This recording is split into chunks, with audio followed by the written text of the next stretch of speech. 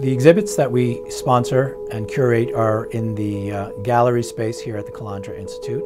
The gallery space is open for office hours, which is uh, Monday through Friday, 9 to 5. Opening shortly, we have an exhibit of photography from our Czachowski collection. That collection features over 200 items, and we have 23 photographs in our gallery uh, that are some of the highlights of that collection and those represent Italian Americans in the first three decades of the 20th century from throughout the United States, uh, engaged in uh, mostly at work. Uh, there are also people uh, at church, there are students um, in various schools throughout the country.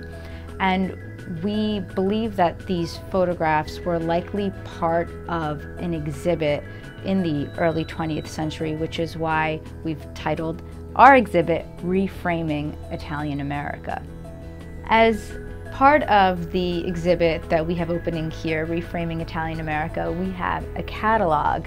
Uh, that catalog features three essays. There's an essay by Joseph Sciorra, there's an essay by Dominique Padurano, and also one by John Turturro and there are 41 images, which includes all of the photographs that are in the exhibit and then some um, that continue along some of these same themes Italian American entrepreneurs, laborers, um, students, etc.